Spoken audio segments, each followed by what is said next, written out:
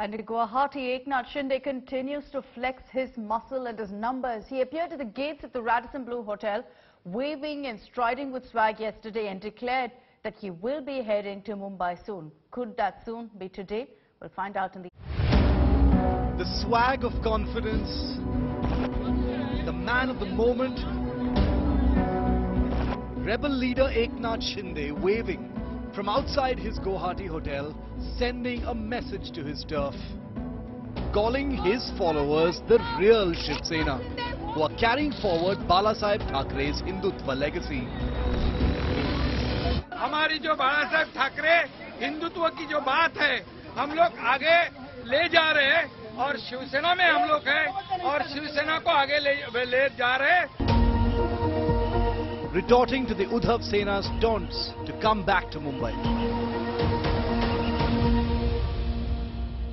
गायब आहेत किंवा त्याने गायब करून गायब केलेलं आहे त्यांनी यावं पहिला जाणार आहोत आम्ही सगळे जाणार आहोत त्याच्यामध्ये काही काळजी करण्याची आवश्यकता नाही The confidence stems from these images. Over two-thirds of the Shiv Sena's MLAs are rooting for Eknath Shinde and 14 of 18 Sena MPs are reportedly in touch with the rebel base.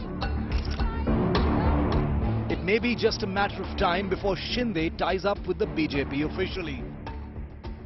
The combine, once final, can claim the backing of nearly 170 MLAs, way ahead of the diminished Maha Aghadi Sarkar. Ex-Chief Minister and the BJP's frontal face in Maharashtra, Devendra Fadnavis, is already closeted with top party bosses in the capital. Fadnavis earlier air dashed to Delhi, flanked by top legal eagle Mahesh Jethmalani.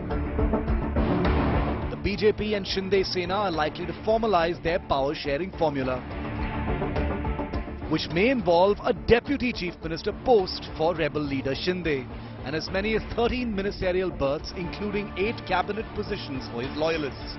The BJP is planning to keep 29 berths for itself. The independents and smaller parties may too get accommodated. But the BJP and Shinde still have one final hurdle to cross. Make Uddhav face his enemy number one, a floor test, and script the downfall of the Aghadi Sarkar, all the while keeping Shinde's flock firmly together. With Polomi Saha in Guwahati and Milan Sharma and Aishwarya Paliwal in Delhi, Bureau Report, India Today.